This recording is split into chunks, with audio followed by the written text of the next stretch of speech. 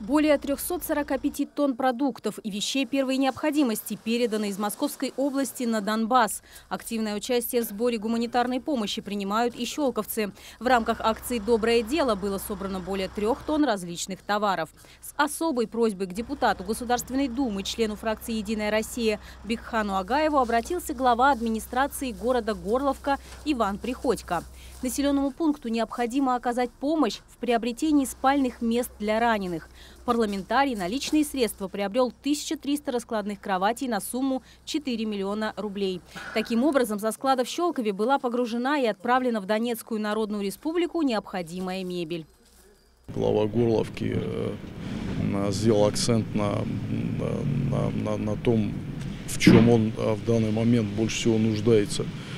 Э, и вот в этой связи мы отправляем Щелково, Московская область, 1300 а, а, кроватей, раскладных кроватей.